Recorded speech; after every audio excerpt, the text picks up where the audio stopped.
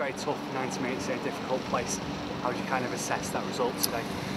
Um, I think before kick-off, I think everyone had been satisfied, satisfied with a point, but having gone 1-0 up and anyone that watched the game today will, will, uh, will have seen that we competed throughout the 90 minutes, uh, both defensively and offensively. Uh, for me, as a centre half, I felt as though we were reasonably comfortable, although they had a lot of possession. But our shape was fantastic today. I think everybody put a shift in.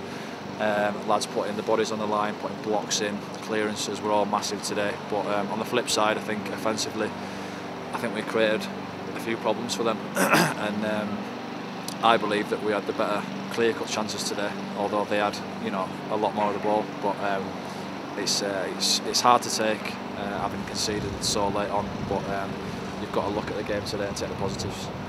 Talking about in the second half as well that we come up against a lot of pressure but without too many clear cut chances. Is it all about kind of getting that second goal to kind of ease that pressure?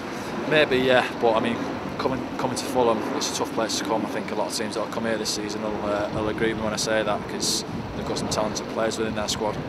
they spend millions of pounds on players, which, you know, it's not an excuse or anything because we've got players within our squad that can definitely compete at this level. We've shown that today.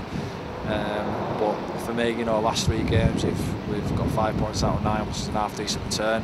Um, so hopefully we can take the positives out of today and take it to Tuesday.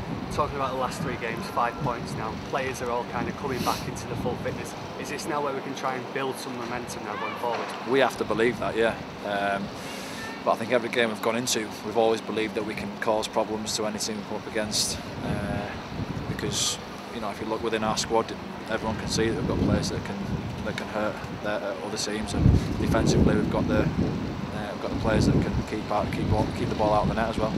And it's a quick turnaround, obviously on Tuesday now, going down to Sunderland at the Stadium of Light. What are you expecting there?